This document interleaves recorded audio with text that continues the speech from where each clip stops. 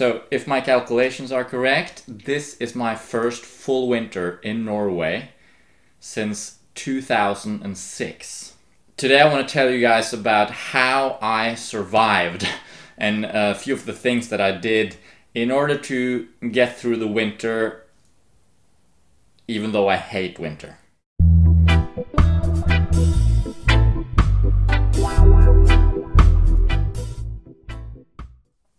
So first of all, you know, if you watch this channel, you you probably know that I enjoy warmer climates and humans are tropical animals after all. So, you know, we're naturally adapted to a tropical climate. That's why we have to put on clothing and use heating and stuff to stay alive or let alone comfortable. I've traveled my fair share in the tropics and over the last few years I've typically gone somewhere slightly warmer and sunnier in the winter. For me, it's more about the sun actually and the, the strength of the daylight than it is about the temperature.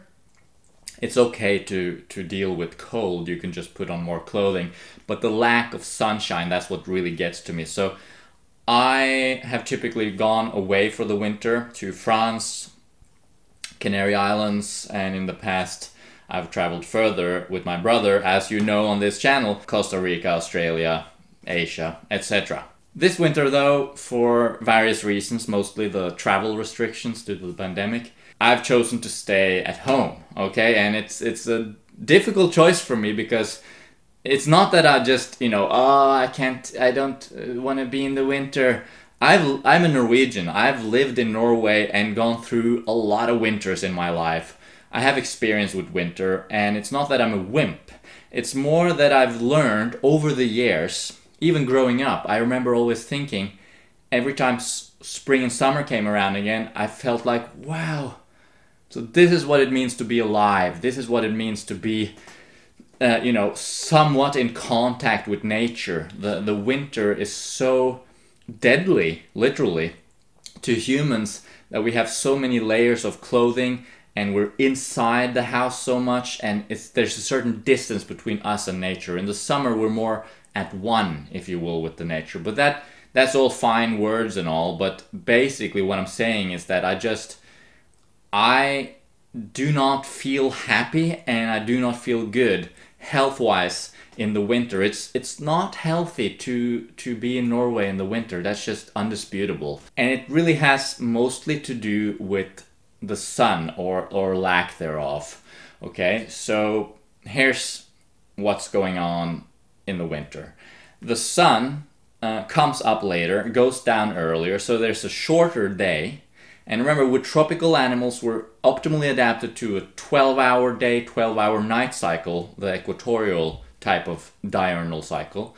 And that sort of cycle is really good for our sleep health. Okay, we will fall asleep more easily, and our sort of our circadian rhythm, our internal biological clock, is you know optimally adapted to that sort of cycle. It's only recent in evolutionary terms that we've moved out of the tropics and experienced these long days in the summer and really short days in the winter. It's it's not really healthy but at least when it comes to the long days in summer you can block out the light with uh, blackout blinds and, and cover your eyes when you're sleeping etc but when it's the winter time and the sun goes down, you don't really have a good source of that sunlight. And that's really key for producing certain hormones and giving us that health that we need. Sunlight is an essential uh, part of health. So, in addition to that, the sun is often behind clouds for weeks on end in the winter in Norway. We could in December this year we had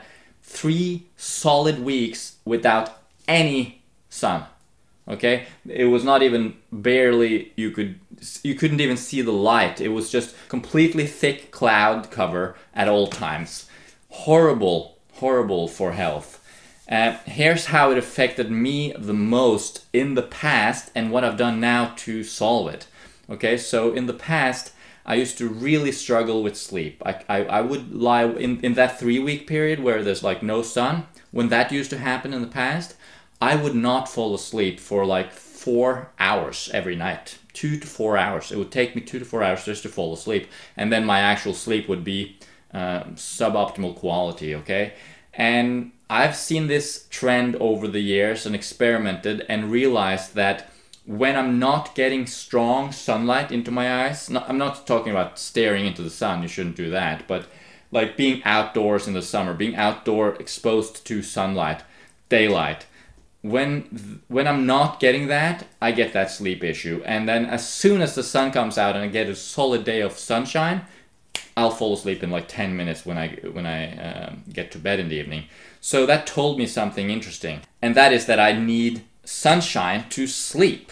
And it's sort of counterintuitive, but really the light is what modulates our day night cycle and our circadian rhythm, okay? So we do need that light in the day. And I don't know if you heard about melatonin, but that is the sleep hormone, okay? And melatonin is produced in the brain by converting serotonin to melatonin, okay? And serotonin is produced or stimulated when we are exposed to daylight and sunlight. So when we're not getting it, we produce less serotonin and thus less melatonin. Of course, everyone's different in how sensitive they are to this problem, uh, and I'm certainly one of the people that are very sensitive to it. Okay, so for me, October, November, December, January, February, those sort of months, um, I just could not stay in Norway because it affected my life so badly by not being able to fall asleep and then feeling super tired in the day, etc. I was just spiraling out of control and I felt horrible. You know, by November, December, I used to feel horrible. This year, I've done something new, and that is to start supplementing with melatonin. Okay? I started taking a supplement uh, early fall this year, last year, and just a small dose. Okay, so the smallest dose that they recommend, I take about half of that, I think. So basically, a very small dose that I take half an hour before I turn off the light. So I, I go to bed, take the, my melatonin drops, I read for half an hour, put away the book, fall asleep within 10 minutes every night. That's how it's been since I started taking it every night. And it's made me able to stay in Norway during the winter because I'm actually not feeling that extreme fatigue because that melatonin regulates my sleep cycle and um, without the, the, the, the, stimulation from the sun um, the lack of daylight in the winter i'm not able to do that on my own. So for me a supplement made sense. And i went out and i bought myself a supplement. I liked it. It worked. And then I contacted the, the people that actually sell it. And I asked them if they want to send me some more melatonin uh, just uh, in exchange for a video and an Instagram post, etc. So I want to mention it in this video. Uh, and that is a sponsored uh, plug, I guess. But uh, it, it's not something that I do because I want to make money or anything like that. It's something that I do because I actually truly believe in the product. And I bought it myself initially, but now they've sent me a few more of them. But it's only really available in Norway, so it's really for the Norwegians, okay? Here it is. It's basically some drops that you take. I'll put a link in the description with a code that if you're in Norway, you can use that code and get 20% off um, if you want to buy something from their website. I'll put the link in the description. So go check that out. And, and if you're interested, go and you're in Norway, buy some melatonin from them and give it a try in the winter at least. Uh, I really recommend it. It's made a huge difference for me. Uh, if you are outside of Norway and you can't get this particular product, there are lots of other products out there, and I just recommend you try melatonin if you have similar issues uh, that I do. But even if you don't really, and it's just not too big a deal for you, still consider the fact that you would naturally produce a lot more melatonin and sleep better as a result of it if you were in the tropics or in the sunny environment like the way you're supposed to be. So it might be beneficial for everyone to supplement with melatonin. I don't know. And of course, you should consult your healthcare professional and all that. I'm just suggesting or just telling you what I'm doing and saying that it's working for me. Um, so that's something that I've done this winter just to be able to survive the winter. But I honestly have to say that even though I do feel much better with the melatonin, I still am not really a fan of winter. It's it's it's just cold and uncomfortable and it's very beautiful though it's very aesthetically pleasing i do enjoy looking at the winter landscape Uh, I, I like the summer landscape more, but I like the winter landscape too. Um, but I'm I'm just it's just too much of a hassle and all the ice and as a runner, um, running on ice and running in the snow and getting wet and, and just it's it's just a hassle and a I just hate it. I hate winter. I survived and it's springtime now and I'm at the cabin and I'm gonna head out for a run pretty soon. Check out my running channel of course if you haven't done so already. Link in the description.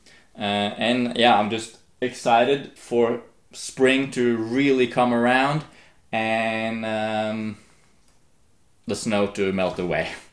Let me know in the comments uh, what your experiences are this winter. Have you do you enjoy winter? Do you like it? What do you do in winter? How do you survive winter? And have you tried melatonin? And what do you think about it?